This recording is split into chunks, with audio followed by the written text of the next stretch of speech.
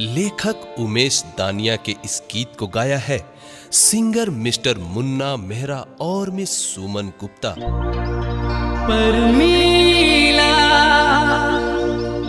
देखी तो के।